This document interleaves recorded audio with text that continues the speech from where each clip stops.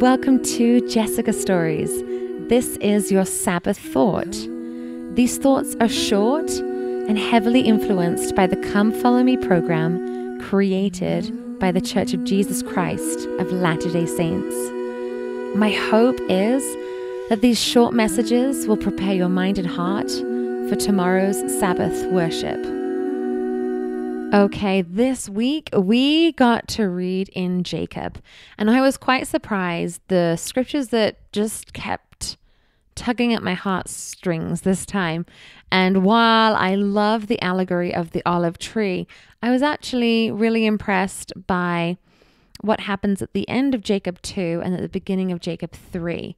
So we learn from Jacob that the people are laboring in iniquity.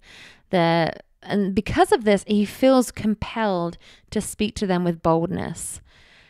And he really does. He addresses some of their iniquities and their behavior that is very unpleasing to God. At the end of Jacob 2, in verse 35, he says, Behold, ye have done greater iniquities than the Lamanites, our brethren. Ye have broken the hearts of your tender wives and lost the confidence of your children because of your bad examples before them. And the sobbings of their hearts ascend up to God against you. And because of the strictness of the word of God, which cometh down against you, many hearts died, pierced with deep wounds. This scripture gives me hope because most everyone has experienced the wrongdoing of someone else towards them. Obviously, there's lots of different levels of how extreme this could be.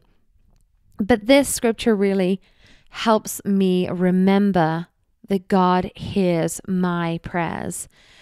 He says, The sobbings of their hearts ascend up to God against you. When you have been wrong done and you sob up to God and you open your heart and share your feelings. He listens.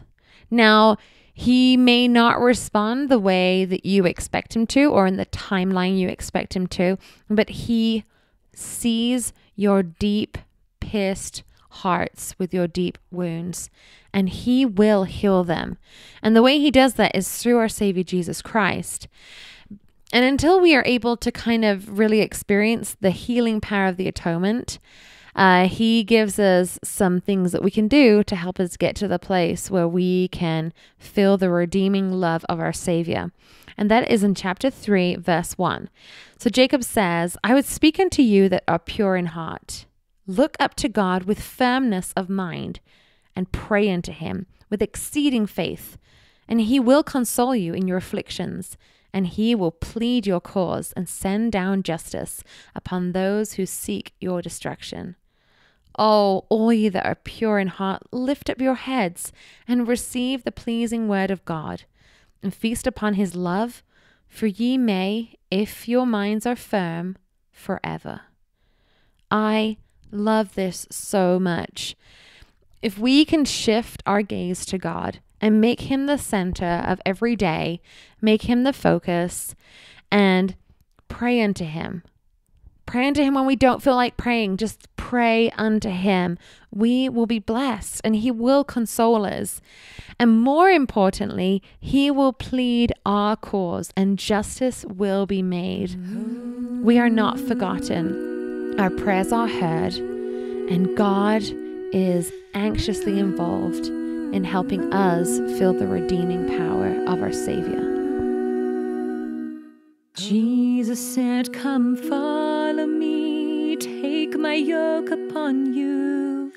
You can rest from your labors if you let me walk with you. Come follow, come follow,